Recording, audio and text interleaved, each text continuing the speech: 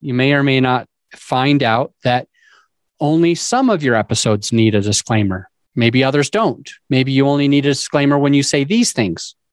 It just depends on your podcast, what genre you're in, and how much protection you're going to have. Most hosts never achieve the results they hoped for.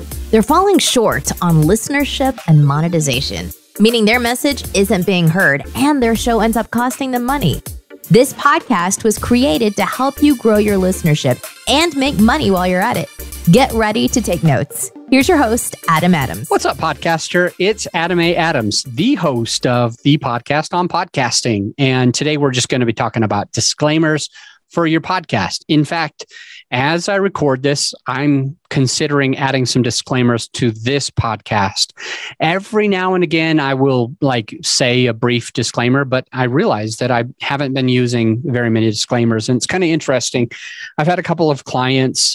One of our clients, she joined our team after they had been going for like over a year, but her podcast wasn't really getting like any real results. They only had, she and her podcast only had a few downloads per episode, and it just wasn't getting the traction that she wanted. And she hadn't yet accomplished some of the cool things that she did end up accomplishing after her podcast started getting really well known. So we started working for her and like promoting her podcast, getting out in front of new people. We're doing like a private message campaign where somebody on my team is PMing and DMing like individuals on three different platforms like Meetup, Facebook, and LinkedIn. And we're going to her perfect avatar. We're just starting natural conversations and eventually, not marriage on the first date, but eventually letting them know that we heard a podcast episode that we think that might help them, asking them if they want us to send it.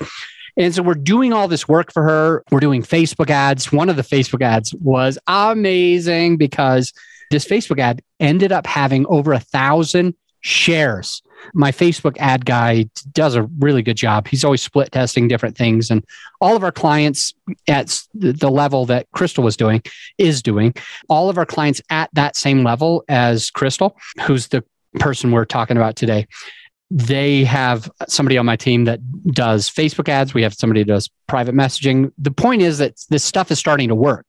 And her podcast is now ranking the top 1% in the world, which never happened before. She's got like 10 times the listener base that she used to have, 10 times the ranking that she used to have. It's kind of cool is shortly after some of this success that she's having, she applied to do a TED Talk. And wouldn't you know it? They saw her podcast, they saw her other content, they got her application, they actually approved. And she just recently did a TED talk, which is freaking badass. I'm so excited for her. And even more recently, I believe this is the story. I'd have to double check with her, but she didn't know that she was featured in Forbes. She had no idea.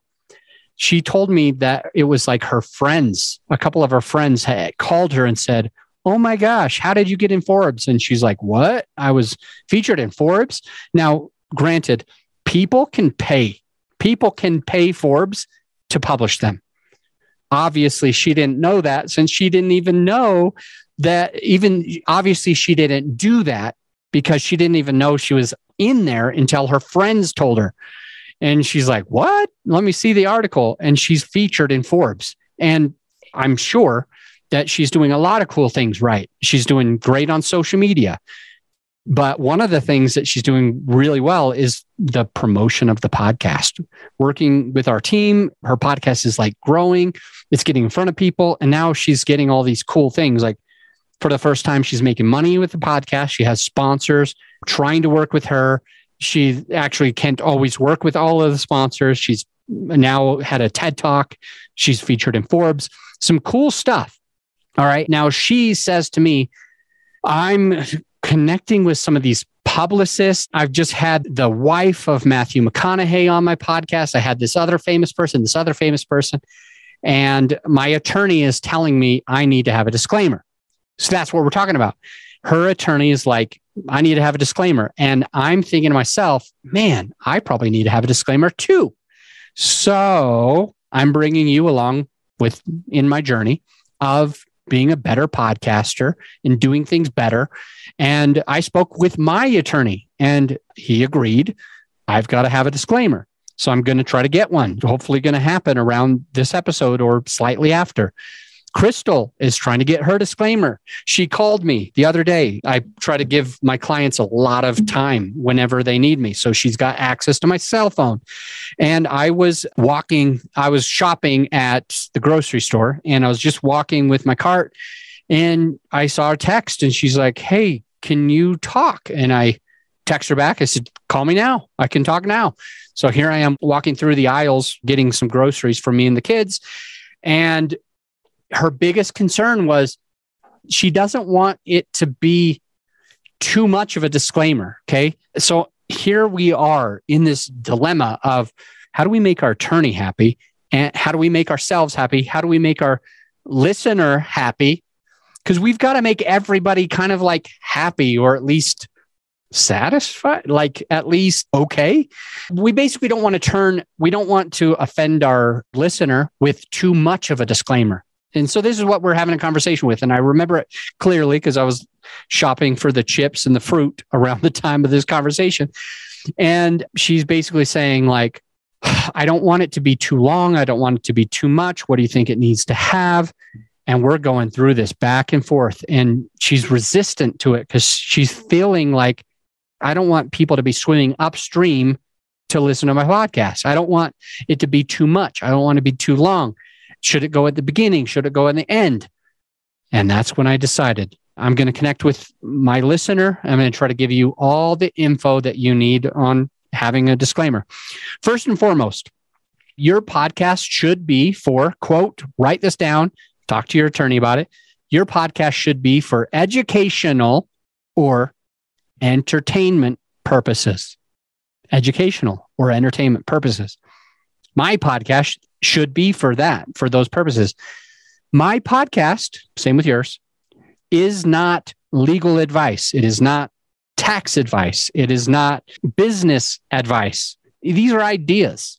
And you need to consult with your own counsel. That's you need to consult with your own attorney. You need to consult with your own doctor before you do a plant based diet, before you go a vegetarian, all meat, a vegan diet, before you try pagan diet or no, paleo, sorry, before you try the paleo diet, before you try the keto diet, before you try intermittent fasting, before you try whatever, fruitarian diet, before you try these glasses, these sunglasses that we're talking about, the Blu-ray, or they help you with to sleep better, or they get rid of your headaches before you do these things, before you start your podcast, before you invest in real estate and before you invest in crypto, you need to let your listener know like, look, this, we can only go so far on the podcast. It's for education or entertainment purposes only. Consult your own advisor, consult your own CPA before you do this tax advice, consult your own counsel before you do this, consult your doctor before you change your diet some of this stuff doesn't work. So you want to give a disclaimer like that. Okay. It's not advice. It's not business advice. It's not do this at your own risk, consult your own professionals. These are some of the things that you want to say. So, and it honestly just depends like on your podcast. Like, are you teaching about food? Are you teaching about exercise? Because, like, look, doing bench press is not good for everybody. Some people have a bad shoulder, some people have a bad elbow, a wrist, some people, whatever. Like you can't tell people to bench press or squat or deadlift or eat fruit or eat bread or eat only protein and just expect everybody to blanket statement just do it because somebody might have for example diabetes type 1 diabetes and maybe maybe having 25% of their diet or 35% of their diet being grains isn't actually going to benefit them You know what I'm saying? Like you just got to be thoughtful. So anyway, at the end of this episode, the place that I want you to go, my call to action to you, my CTA for you is to consider a disclaimer and to know that the views and opinions expressed on this are that of the guest alone. The opinions are of the host alone. The views and the opinion, you cannot hold us harmless. There's all sorts of stuff. So speak with your attorney. The call to action is consider doing a disclaimer speak with the correct type of attorney that's going to be able to help you. to make sure that nothing that your listener does can fall back on you legally. The third is try to do your best at appeasing both your attorney and your listener. You don't want to make your attorney be like, you're putting this at too much risk. And you don't want your listener to be like, man, this is too much. Okay. So you got to find that balance on your own with your counsel. That's my disclaimer for you. You've got to figure that stuff out with your counsel. And last and final thing is you may or may not, based on whatever your attorney says, you may or may not find out that only some of your episodes need a disclaimer. Maybe others don't. Maybe you only need a disclaimer when you say these things. It just depends on your podcast, what genre you're in, and how much protection you're going to have. But then the last consideration, the last, last, last thing is should the disclaimer come in the beginning, middle, or end? Now, I am not an attorney, so don't trust me automatically. But I'm going to say that from what I spoke with Kristel and my own attorney, is that it is okay for our two podcasts to have the disclaimer at the end of all episodes. Basically, don't take this as business advice. Your situation might be different, etc. So I'm building my disclaimer. It's going to go at the end of our podcast episodes. It's probably going to have the micro machine guy reading it. What I mean by that, for those of you who are too young to know, micro machine guy speaks really, really, really fast. And so he just basically gets out the legal disclaimer super duper fast and doesn't really bother anybody. But I'm probably going to have the micro machine guy read my disclaimer and it's just going to keep me protected. And I'm going to put it at the end. Now, with Kristel, hers is a little bit different because there is a couple of things that she's using a disclaimer for. A, she has some guests where she really needs to be clear that it's not medical advice it's education. So she's going to have some of her episodes because we actually also we do a marketing for her podcast. We also do all the post production we do our editing plus package. But the point is that she's going to tell us if she wants it done in the beginning on some episodes. So it's like hey before we get started in this episode the views and opinions are expressed blah blah blah blah blah. All right the last disclaimer because that was the last of that piece of the topic, but there is another disclaimer that you're going to want to consider, and it's just the cussing. I don't have a disclaimer for my cussing. I am actually starting to consider it where it says, like, this episode has some adult language. Listener discretion is advised. So if I ever have, like, I'll say a lot of cuss words, as you probably know. I don't think I've ever, ever, ever said the F bomb on any of my podcast episodes ever. It's possible. I don't necessarily recall it. But the point is, some things can offend some people. And so things that you might consider to do on that is depending on who your audience, who your listener, and how offensive your language might be, you might even have in the beginning it just say, hey, there's adult language or adult content. For example, on this podcast is two women. One is a monogamous mother with the, been with the same guy for all of this time and is the father of her child. And her co-partner is a sex worker. Her co-host is actually a sex worker. So she is a call girl and these guys get together these women get together and post this information. And some of it is like listener discretion advice. So that's just an example of this sex worker and this monogamous person. They have these funny stories and it's interesting, it's fun. And in some cases, maybe they need to have like a disclaimer that says this is like adult content. What we're talking about are things that viewer discretion is advised. And maybe you need to be 18 or older to listen or something like that. So, and then the last thing is making sure to mark episodes and or your whole podcast as explicit content. That is basically using the big letter E any single time on this podcast, or at least we try to do this. Maybe we've messed one up, but every single time I say shit or damn or some other cuss word, we try to mark it with an E. We try to make sure that it shows that there is explicit content in the episode, explicit language in the episode. And if we are talking about like sex workers or whatever, maybe I still in this episode, even if I didn't cuss the couple times that I did, I would want to mark an explicit. Now, if your whole podcast is about, I don't know, open relationships, sex, how you intimacy, I can't think of all the things like whatever.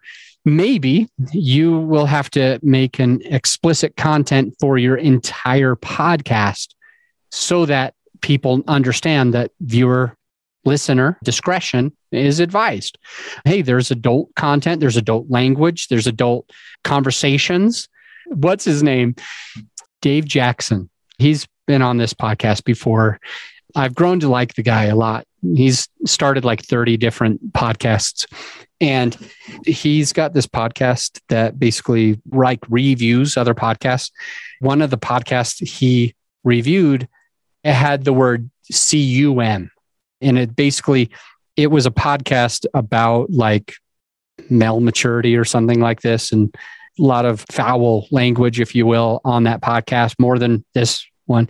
The point is when he mentioned that he goes hey before i get started i need to give you a disclaimer that what i'm going to talk about in this podcast episode has some language some ideas some words that is best for adults. He said something like this. He's like, I'm warning you. And he gave him some time and he goes, I'm going to give you like five more seconds. And if you don't want to hear this, if you don't want to be part of this, if you're not old enough to hear mature content, then you should log off. And then he, he said, now the podcast that I'm reviewing today has a lot of cuss words. And to give you an example of some of the content that you're going to listen to, one of the words of the podcast, the title of the podcast, the name of the podcast is come something. And he goes, and just so you know, that's not spelled the normal way. It's not spelled the normal way. It doesn't mean come here, it means something else. And so let me give you another couple seconds. So anyway, the guy was like as careful as he could to absolutely make sure that if a parent, for example, was listening with their kid next to them, and because almost all of his stuff is like PG, now all of a sudden he's got something that's like total rated R. It's just totally about sex and just a bunch of other stuff because these guys drop like a million F bombs. Anyway, he wanted to make 100% sure that he wasn't going to offend anyone. And by doing that, by taking the extra step, he's going to gain more credibility. He's going to gain more trust from his listener.